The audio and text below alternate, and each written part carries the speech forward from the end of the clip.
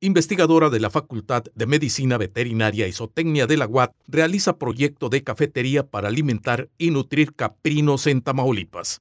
La doctora Cecilia Zapata Campos, profesora e investigadora de dicho plantel universitario, explica en qué consiste su investigación.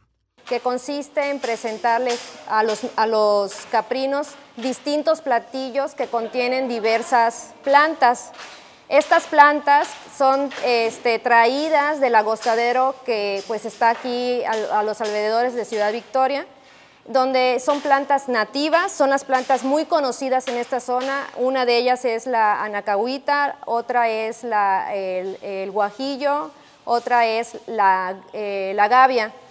Estas plantas, por su contenido nutricional y de metabolitos secundarios, este, tienen propiedades eh, características que las hacen un alimento funcional y nutracéutico. Estas plantas características de la zona centro de Tamaulipas se caracterizan por aportar alimentos, nutrientes y beneficios en la salud de los caprinos.